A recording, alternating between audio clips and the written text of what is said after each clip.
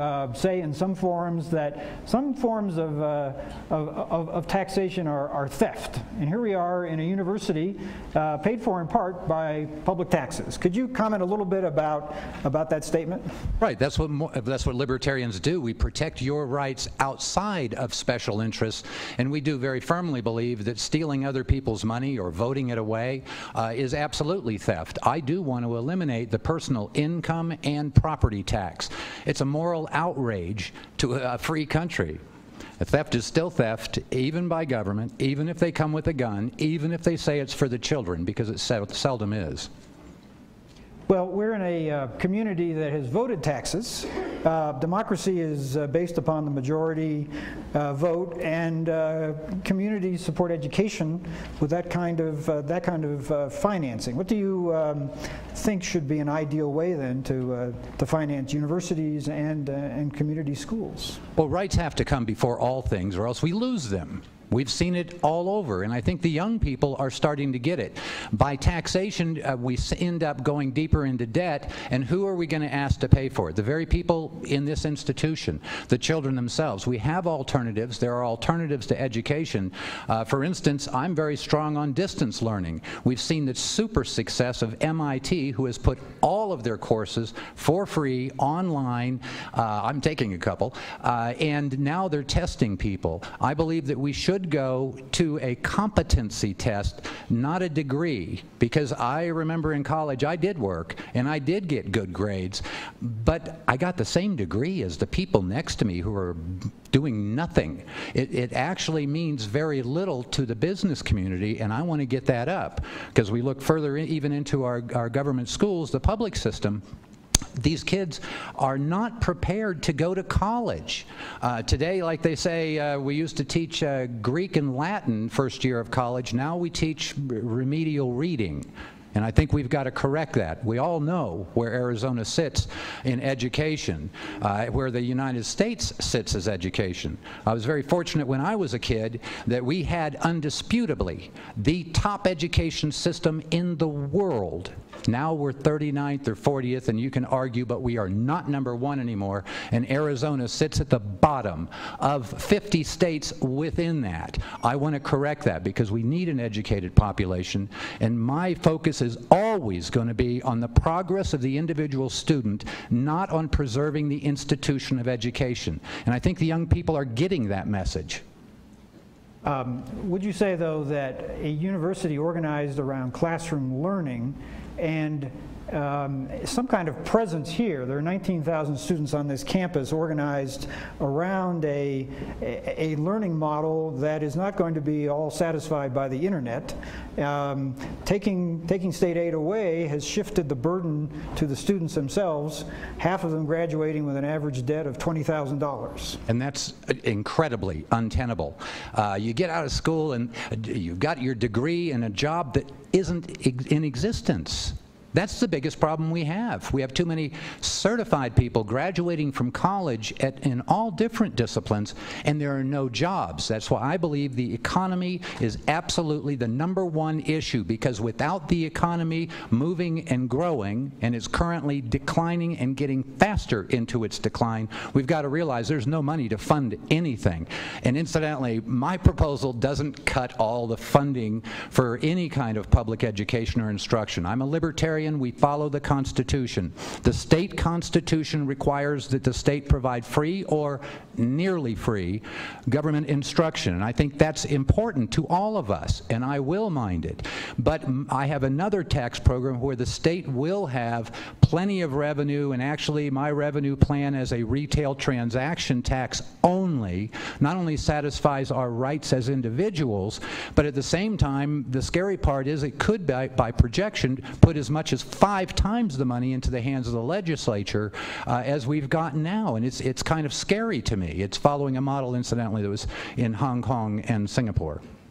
Would you say, though, that at, at, at a level that, that, that is based upon uh, jobs and job creation, job attraction, that education remains one of the chief drivers Uh, of that economy, and that our level of funding here, at least in Arizona, at the K-12 level, is at the bottom of the 50 states. Where, where would you, as, as, as governor, address that in a way that's affordable? Well, I think that it's important that what we all have to understand is education is important, but we have to have specific jobs to meet the needs of the marketplace. And right now, we don't have a marketplace. We've lost so much of our manufacturing base. What I would propose is making sure that our children graduate competent in the fundamentals so that they can go on to learn uh, more. And we've got to all understand education doesn't end with a degree, it only begins. And that was a real eye opener for me as a college graduate. It- It's uh, fundamentally important. I would like to shift the burden rather than trying to teach all students to do all things. It would make more sense to give them the tools to go on to learn other things and allow the businesses to open their own schools that will teach specific skills that can be used in that employment. It makes a lot more sense to follow the market than to try to drive it as we've done in the past. Um, It, it sounds like then you and the Common Core would not, would not agree. Absolutely not. Uh, when I was a kid, we used to always be able to say, my school's better than your school. And we could back it up academically, scholastically, athletically. Well, now with Common Core, all the kids can say is, my school's just like yours. You take away competition between schools and try to standardize the whole process, and you lose the essence of what made our education system number one. We are, in effect, cooking our own golden goose, and I think that we should keep it alive for them golden eggs. One of the, uh, one of the main uh, responses on the uh, Flagstaff We Want poll was support for higher teacher salaries. And I think we've seen in some states like Massachusetts, uh, the starting salary is 50,000. In Arizona, it's 33,000. They cite that as, as a reason why Massachusetts, in fact, has succeeded in some of those, those basic skills. And keep in mind, that's after the additional tax that Governor Brewer put on in place.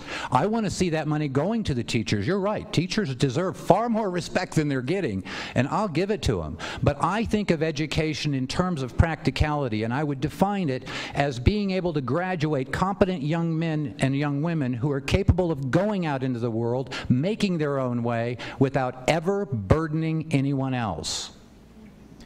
Let's uh, change to uh, public lands, um, the forests, national parks. This area is um, probably dependent more than others on recreation as well as natural resources from those public lands. How does a libertarian look at the federal ownership of, of those lands? absolutely adamantly against the federal ownership. I want to see it all under Arizona's auspices so that we can determine what happens to our lands. I happen to have grown up in the forest in New Hampshire. We don't even have problems with, with any of the forest fires that you see out here. And yes, of course, we have a more humid climate. But you see actual aggressive and intelligent management of the lands that does clean out the forests, does have fire breaks so they can't get out of control. I, a lot of times we see in Arizona, problems are created on purpose just so some politician can offer to solve them. I want to end that.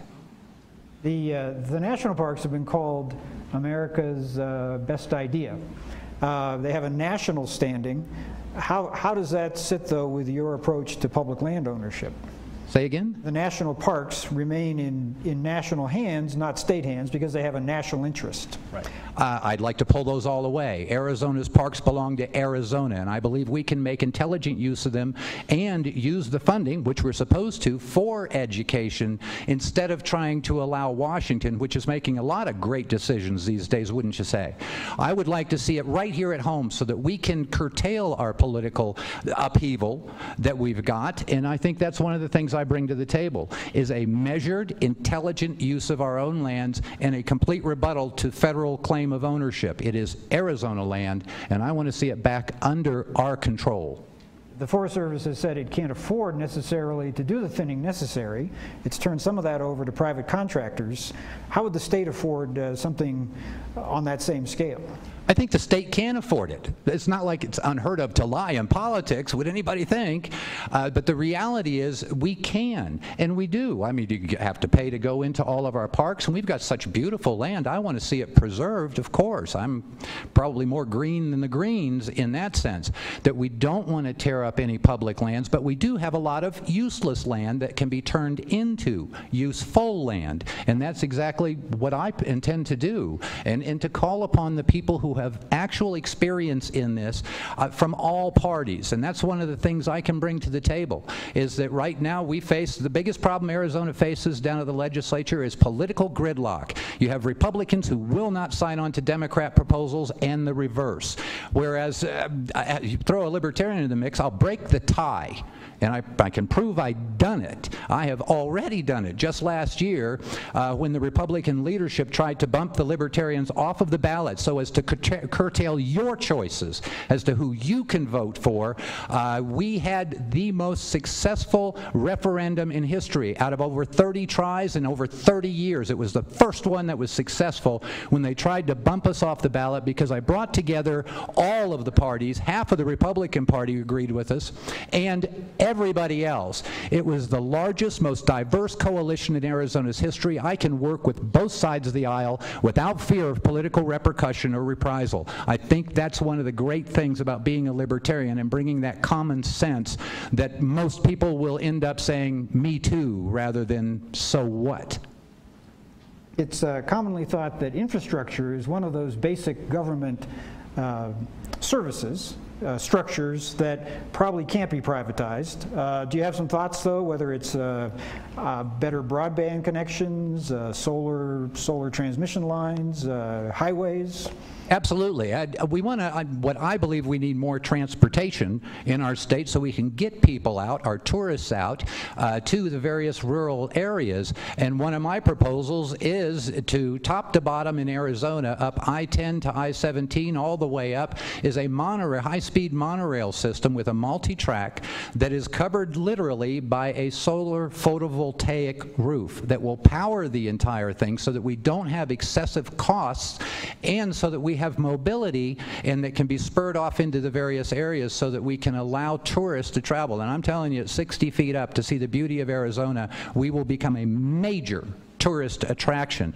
I think that's one of the things that other candidates tend to be afraid of is taking bold steps in dire times. But I think that's the only thing that'll get us through. And incidentally, lest anyone be uh, upset with a libertarian saying we want these great public projects, not only will it, it, it employ thousands of people, but it's going to be financed by a public uh, partnership. I think that's fundamentally important so that people can actually own stock in the, the Barry rail, if you will.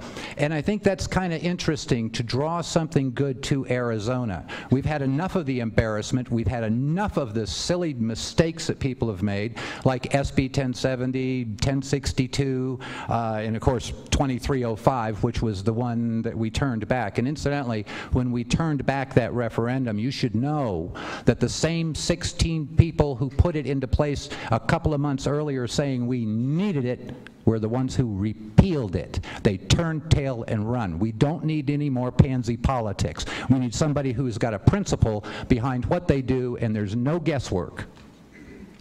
Would you, uh, though, in terms of standing on, on principle, you, you're looking to work across the aisle, but seem pretty adamant about many of these, many of these positions.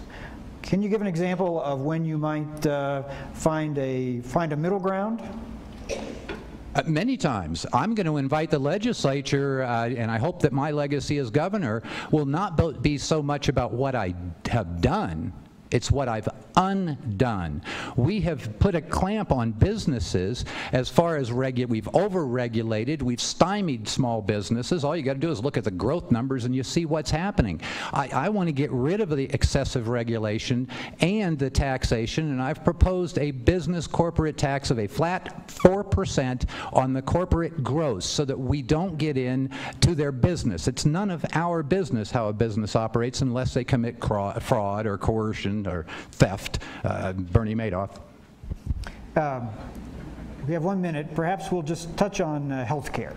Um, this is a this is an area that, uh, at least in, in Arizona, they've moved to expand some of the coverage uh, for those uh, up to 133% of the poverty level uh, by leveraging some federal dollars. What do you think about that? I want to get rid of federal dollars. I want them out of Arizona. I don't want to pay much attention to Washington at all. And my proposal for health care actually reinvigorates the old county health system so that people do have care. We're not going to leave people on the side of the road, but we've got to get rid of this Obamacare, this nationalized program, which is an egregious, egregious destruction of our individual rights. We've got to get rid of it.